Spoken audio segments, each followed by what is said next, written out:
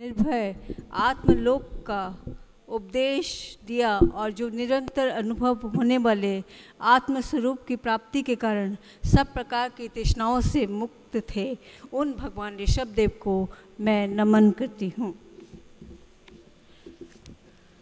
परम आदरणीय गुरुवर एवं गुरु वरियाओं के चरणों में मैं वंदना करती हूँ। उपस्थित विद्वान एवं धर्म प्रेमी श्रोतागण अभी यहाँ योग चर्चा, योग पे बात हो रही थी तो मुझे एक बात कहनी है इस पर कि बंगाल के साहित्य में योग दर्शन के ऊपर एक काफ़ी वहाँ काम होता है हिंदू माइथोलॉजी में। उसमें मीननाथ, मसेंद्रनाथ और ये एक योगी वंशावली, योगियों की वंशावली है तो उसमें जो मीननाथ के गुरु हैं, उनको आदिनाथ कहते हैं। तो ये एक ऐतिहासिक तथ्य है जो जैन परंपरा में योग को बहुत प्राचीन बता सकता है। अब मैं अपने टॉपिक पर आती हूँ। समय बहुत कम है और विषय बहुत गंभीर। फिर भी मैं चेष्टा करूँगी कि कम से कम समय में अपने ज़्यादा से ज़्यादा आप लोग को बता सकूँ। आज से 2600 वर्ष पूर्व भगवान महावीर ने अपनी तपस्या और साधना के लिए जिस क्षेत्र का वर्ण किया था, जहाँ उनके जीवन की कई महत्वपूर्ण घटनाएँ घटी थीं और यह किस किन लोगों के बीच में किया था? और वो लोग कौन थे? किस जाति के थे? कहाँ से आए थे? उनका क्या धर्म था? क्या जीवन शैली थी? वर्तमान में आज उनकी क्या अवस्था है? और किन परिस्थितियों और परिवेश में वह रह रहे हैं? यह एक गहन शोध का विषय है। जो हमें सिर्फ़ अपने सारगर्भित अतीत की ओर ले जाने की प्रेरणा ही नहीं देता, उन महत्वपूर्ण तथ्यों से भी अवगत कराता है, जो सिर्फ़ जैन धर्म की प्राचीनता की पुष्टि ही नहीं करते, वरन हमें संस्कृति के आदि शोध तक ले जाते हैं। आप, जैसा कि ये मालूम है कि ऋषभ देव ने अपनी दीक्षा के पूर्व अपने सौ पुत्रों को विभिन्न क्षेत्रों का राज्य प्रदान किया था। अन बंग और कलिंग क्षेत्र आज उन, उनके पुत्रों के नाम की स्मृति को जीवंत रखे हुए हैं। इस बात के प्रमाण स्वरूप बिहार और बंगाल के सीमांत झारखंड में हमें एक ऐसी प्राचीन जाति मिलती है, जिसे हम सराग कहते हैं और जिसके इतिहास के विषय में बहुत ही कम काम हुआ है। संगदास गणी रचित वसुदेव हिंदी जैन कथा साहित्य में एक प्रमुख स्थान रखता है और इसमें भी सराग जाति का वर्णन हमें मिलता है। वहाँ के राजा पांडु जो थे महापुंड्रु उनके जो पिता थे और माता थी, वो उन्होंने जैन प्रवज्जा ली थी और उनकी माता वसुमती जो थी, वो शिखर जी के, शिखर जी जाती थी शाम के समय में। अतः उनका जो राज्य था, वो शिखर जी के बहुत ही करीब था। बराकर ज़िले से करीब, बराकर से करीब सात किलोमीटर दूर पे था। और ये आज का वाणिज्य केंद्र पानरा है, जो कि धनबाद धनबाद ज़िले में पड़ता है। शिखर जी भी वहीं पास में, एकदम बिल्कुल पास में हैं। तो और वहाँ पांडा ग्राम में हमें वसुदेव का स्मारक भी मिलता है, क्योंकि वसुदेव के पुत्र ही महापुंड थे और उन, वहाँ पर प्राचीन स्तूप मूर्तियाँ, मंदिर के बहुत से भग्नावेश देखने में हमें मिलते हैं। अजय नदी के उत्तर और दक्षिण तट पर महाभारत कालीन अवशेषों का मिलना भी हमारी इस बात की पुष्टि करता है कि सराग जाति बहुत ही प्राचीन थी। पुरातत्वविद पी सी दास गुप्ता ने इन अवशेषों को रात्य युगीन बताया है। यही कारण है, सराग जाति समय शिखर और पार्शनाथ के प्रति अटूट श्रद्धा रखती है। पर्वती काल में सराग जाति के अनेक भाग हो गए और इन्हें अपने मूल स्थान से दक्षिण की ओर पलायन करना पड़ा अपने अस्तित्व की रक्षा के लिए और इनमें एक शिखरिया नाम के सराग आज भी मौजूद हैं। ये मान्यता है कि किसी भी जाति के कुल और गोत्र के नाम उनके पूर्वजों के नाम पर परंपरा से चले आते हैं।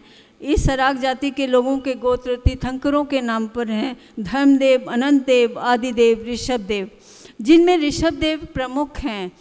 शिखर जी में अवस्थित सराग जाति के आचार्य सुएश मुनि जी का भी गोत्र ऋषभ देव हैं। इससे यह हम कह सकते हैं कि सराकों के पूर्वज ऋषभ देव या उनके निकट के कोई ऐसे व्यक्ति थे जिनसे उनका रक्त संबंध था। सराक शब्द का अर्थ होता है श्रावक श्रवणकारी। और पाश्चात्य विद्वानों ने ही सर्वप्रथम इस अर्थ को प्रचलित किया। और यदि हम देखें तो पूरे विश्व में और हमारे देश में भी प्राग ऐतिहासिक युद्ध युग से ही अधिकांश जातियों के नाम उस जाति के जातिगत पेशे और उसके आदि भूमि के आधार पर रखे गए हैं। इस दृष्टि से हम देखते हैं तो सराग सराग सराकी, सरापी, सरोगी आदि शब्द सर और आगे से आए हैं। सर का अर्थ होता है निश्चित करना और आगे का अर्थ होता है अग्नि। यानी अग्नि से कुछ निश्चित करना। तो नव पाषाण युग तक मनुष्य यही जानता था कि अग्नि सब कुछ ध्वंस करते हैं। पर अचानक ही आश्चर्य के साथ उन्होंने देखा कि ऋषभ पुत्र गणों ने अग्नि से ध्वंस हुए मलबों से कुछ महामूल्यवान पदार्थ निश्चित किए, इसीलिए शायद इन्हें सराग कहा गया। सरागी और अग्निपुत्र के रूप में यह जाति श्रेष्ठ सम्मान से विभूषित हुई थी। सराग जाति धातु विद्या में अत्यंत उन्नत और पारदर्शी थी। इन्होंने ताम्र शिल्प को उन्नत किया। सिंह भूम अंचल की ताम्र खदानें इसकी पुष्टि करती हैं।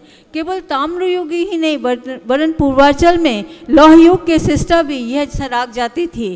राड़ अंचल में वैज्ञानिक तरीके से इन्होंने प्रचुर परिमाण में लौह निष्कासन और विनोग विनियोग भी किया। और इसका बहुत महत्वपूर्ण प्रमाण हमें मिलता है। सराग जाति कि सराग जाति इस देश के लौह शिल्प की करता धरता थी कि भगवान महावीर के पर्वतीय साहित्य में, जहाँ तीन लोहाचार्यों का वर्णन हमें मिलता है, जिसमें पहले थे सुधर्मा स्वामी, दूसरे थे भद्रबाहु कल्प का कल्प सूत्रकार भद्रबाहु और तीसरे लोहाचार्य थे कुमार सेन। मैं यहाँ बहुत संक्षिप्त में ही बता रही हूँ। और जैनाचार्यों का लोहाचार्य होना ही ये स्पष्ट करता है कि ये लोह लोह शिल्प के पंडित थे और इन्होंने सराग जाति को लोह शिल्प में दक्ष किया। भगवान ऋषभ देव तथा अन्य तीर्थंकरों के बाद प्रजा को शिल्प कला में दक्ष करने का कार्य जैनाचार्य के, चार्यों के विशिष्ट ज्ञान और पांडित्य को जाता है। सराग जाति शिल्पकार थी। इसको शिल्प में प्रमाणिकता देने, प्रवीणता देने का कार्य जैन आचार्यों का था। नालंदा विश्वविद्यालय के जब यदि हम क्रियाकलाप देखें तो इस बात की हमें पुष्टि होती है। जैनाचार्य तत्व ज्ञानी होते थे, वस्तु तत्व को जानते थे, और प्रत्येक वस्तु के गुण और धर्म के विषय में उच्च कोटि का ज्ञानवान ही वस्तु के सही उपयोग का विधि कारक बन सकता है। जैसे लोहे के तत्व या गुण धर्म को जानने वाला ही उसके विभिन्न उपयोग की विधि का प्रयोग कर निकाल सकता है। इसी को हम तकनीक कहते हैं और जिसे अंग्रेज़ों ने टेक्नोलॉजी कहा है। अशोक का लौह सम जिसे देखकर आज भी लोग आश्चर्यचकित रह जाते हैं, इस, इनकी लौह तकनीक दक्षता का प्रत्यक्ष प्रमाण है। छर्रा, पाड़ा, तेलकुपी पकफीड़ा देलघाट बुद्धपुर, बांदा, साका, चेलियामा, दालमा, पवनपुर ये सब ऐसे स्थान हैं जहाँ पर के प्राचीन मंदिर और इस अंचलों में पाई जाने वाली मूर्तियाँ सराग गणों की मूर्ति शिल्प कला को दर्शाती हैं। पर्वती काल में जब इन पर अत्याचार बढ़ गए, तब इन्होंने विवश होकर वस्त्र बुनने में लग गए और तात वस्त्र के दक्ष शिल्पी बन गए। इस प्रकार हम कह सकते हैं जाति ताश शिल्प मूर्ति शिल्प और ताम्र लोह आदि के खनन में दक्ष थी। कल्प सूत्र में लिखा भी है कि ऋषभ देव ने पुरुषों को बहत्तर कलाएँ और स्त्रियों को चौंसठ कलाएँ तथा सौ प्रकार के शिल्प कर्म प्रजा को सिखाए थे। तो प्रजा को कलाओं में शिक्षित कर एक शिल्पी वर्ग उन्होंने तैयार किया था। तो क्या यही वर्ग आज के सराक हैं? मिस्टर कूपलैंड ने सराकों को कला दक्ष शिल्पी जाति कहा है। विश्व सामाजिक परिस्थितियों और विदेशी आक्रमणों के कारण इस दीर्घ काल तक हम इस पुरातन जीवन जीवित संस्कृति से बिल्कुल अछूते रह गए। वर्तमान में इनके परिचय को प्रकाश में लाने का श्रेय पाश्चात्य विद्वानों को जाता है।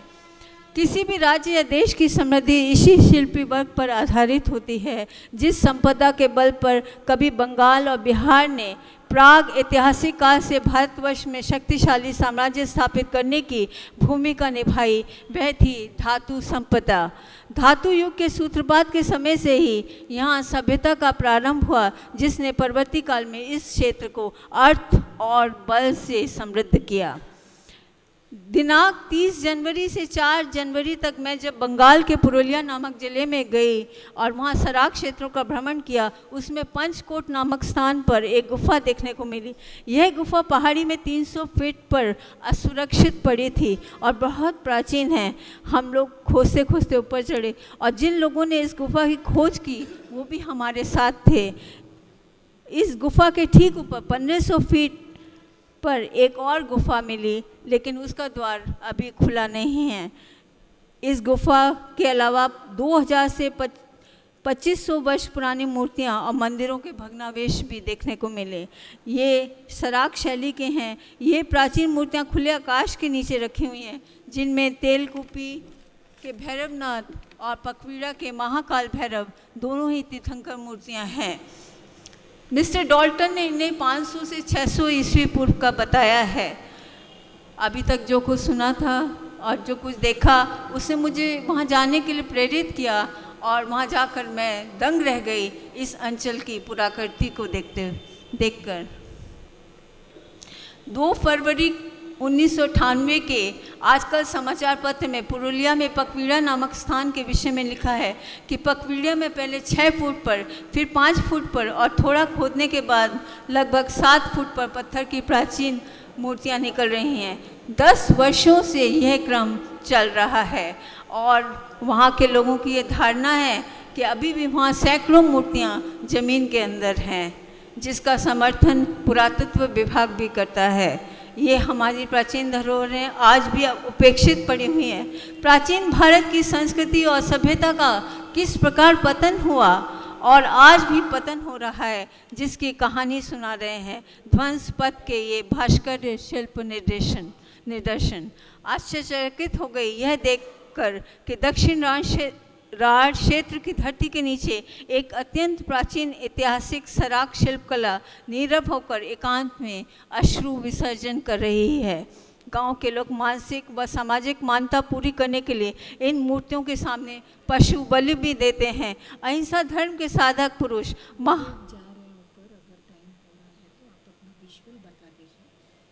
अच्छा बस ये हो गया। बस ये नहीं आप विजुअल बता दीजिए। कर दिया अच्छा ये मैं।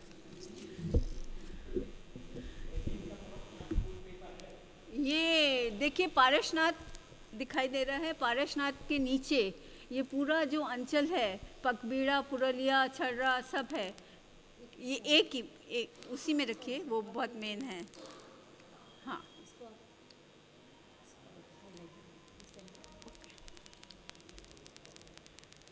ये देखिए, पारसनाथ है और पारसनाथ के नीचे में ये पूरा जो अंचल जो दिख रहा है सारा, ये सारा सराक अंचल है, पुरुलिया का।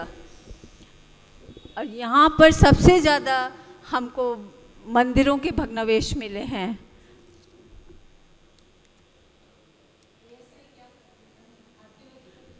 हाँ ये ये चांदिल चांदिल डैम जब बना था तो वह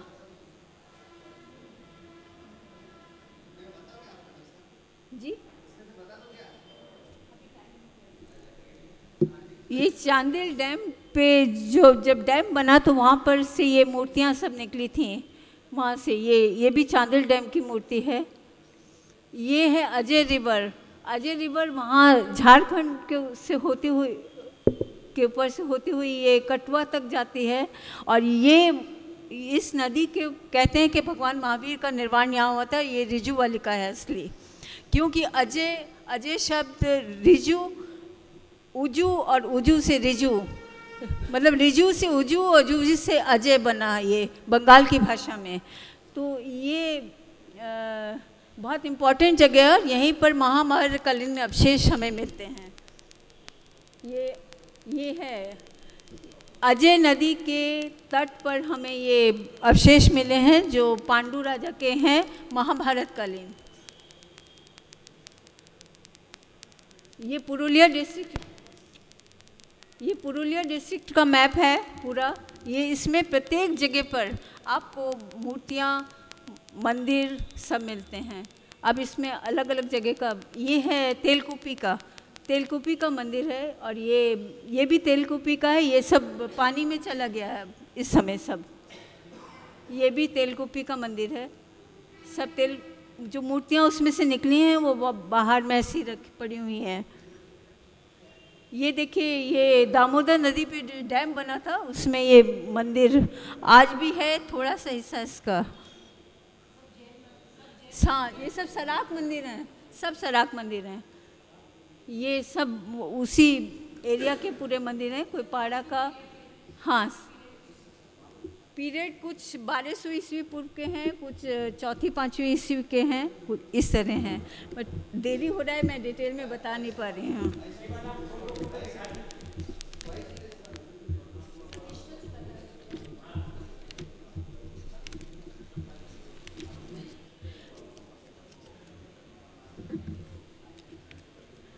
ये देव घाटा का है। देव घाटा का मंदिर है ये। ये पाड़ा का मंदिर है। ये ये मूर्ति है जिसके आगे बलि दी जाती है।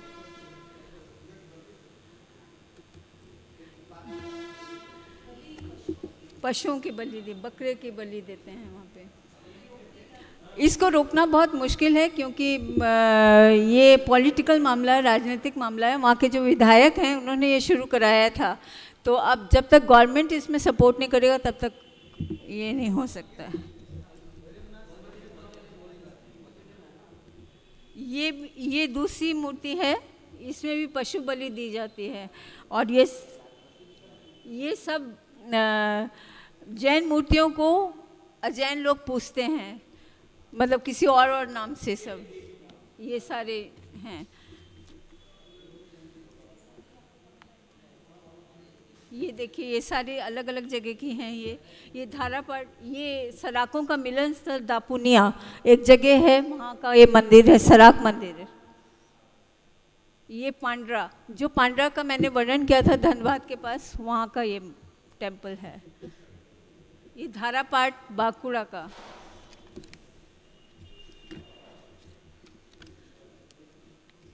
बहुलारा का ये मंदिर है, जिसमें एक और गणेश है और एक और दुर्गा का मूर्ति है, बीच में अपने जयंती तंग मूर्ति है। ये बहुत, ये वो पंचकोट की गुफा है, जहाँ हम लोग गए थे, ऊपर पहाड़ी के 300 फीट के ऊपर। ये गुफा के अंदर एक तीर्थंकर मूर्ति अंकित की हुई है। ये अढ़ाई हज़ार वर्ष पुराना मंदिर है। वहाँ लिखा है आर्कियोलॉजिकल डिपार्टमेंट में कि यहाँ पर ये हाँ। अंकित किया हुआ तीर्थंकर मूर्ति है वहाँ पे। नहीं, लेख नहीं मिला हमको। ये मंगल विजय जी महाराज जिनका विद्यापीठ चल रहा है शिखर जी में, अगर आप लोग शिखर जी गए होंगे तो मंगल विजय जी महाराज का समाधि है, ये पुरुलिया के रघुनाथपुर में। यहाँ हम गए थे ये ऐसी अपेक्षित होके पड़ा हुआ है। जिनके नाम पे शिखर जी में विद्यापीठ चलता है, उनका समाधि है ये।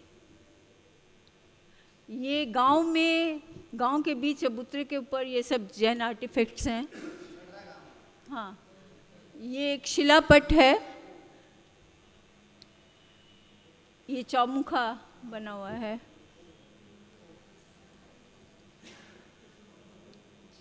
ये गाँव में पेड़ के नीचे, बाहर में।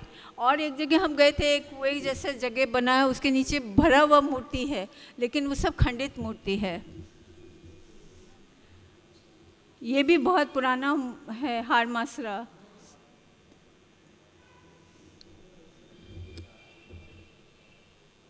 ये बेगुनिया के टेंपल हैं, वो जो दो दिखाए थे, ये बेगुनिया बेगुनिया बराकर के पास है, बिल्कुल।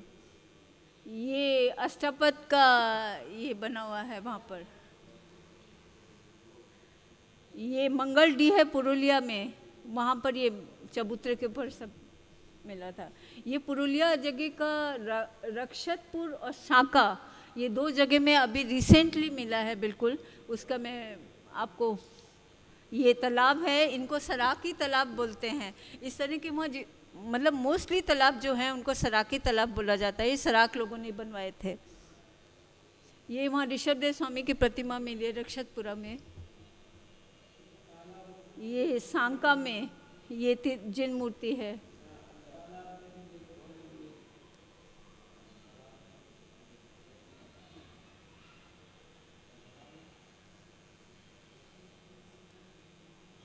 इनकी शैली जो है, इन मंदिरों की जो शैली है, ये अगर आप देखें तो यहाँ यहाँ पे मन में होगा कि बहुत बड़ी एक मूर्ति बनाने की कोई बहुत बड़े शाला थी, वहाँ पर मूर्ति बना, बनाई जाती थी और यहीं से कारीगर लोग आपके इंडोनेशिया वगैरह में जाते थे। अंकुर वाट का मंदिर है, उसकी शैली भी लगभग ऐसी पत्थरों के मंदिर बनी है वैसी है। ये मैंने देखा दक्षिण यूनान तक।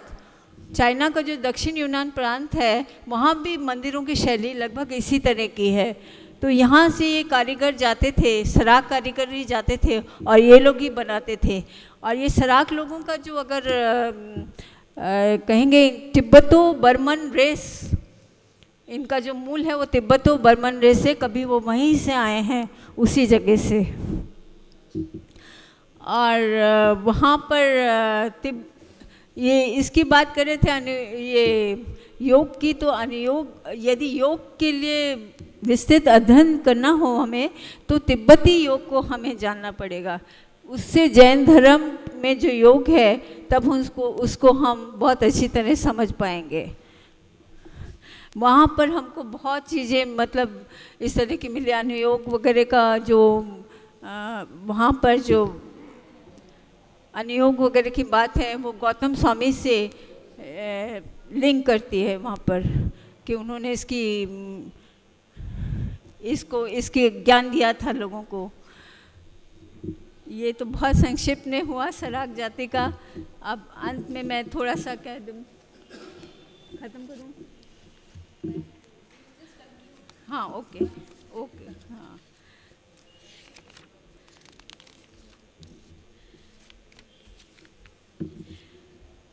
स्वतंत्रता के बाद दामोदर नदी पर जो बाँध बनाया गया, उसमें सैकड़ों जैन मन, दर्शन जैन निर्देशन नष्ट हो गए। पांचे डैम के निर्माण के समय 20 प्राचीन मंदिर नष्ट हो गए। सुवर्ण रेखा नदी पर चांदिल डैल, डैम का निर्माण हुआ और 26 मंदिर जल के गर्भ में समा गए। पांचे डैम के विभिन्न दिशा में माइथन डैम का निर्माण किया गया, जिसमें अनेक महत्वपूर्ण मंदिर विलीन हो गए। इस प्रकार हम देखते हैं, जहाँ एक ओर आधुनिक भारत के निर्माण की बात करते हैं, वहीं दूसरी ओर अपनी प्राचीन सांस्कृतिक विरासत को इन विकासशील परियोजनाओं के ज़रिए नष्ट करने पर हम आमादा हैं।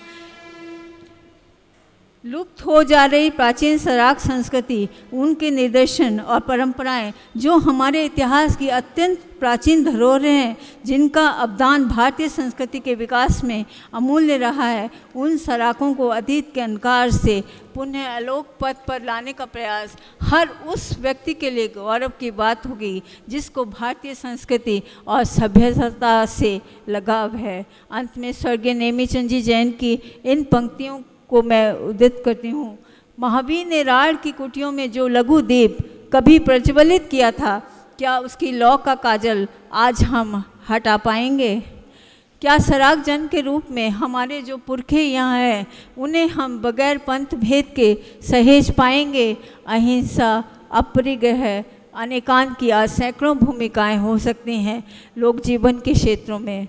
किंतु क्या राड़ अंचल में हुई महावीर की दीक्षा साधना को पुनर्जीवित करने का खतरा मोल लेने की हिम्मत कोई आज कर पाएगा? इसी के साथ अपने इस शोध निबंध को मैं विराम देती हूँ। धन्यवाद।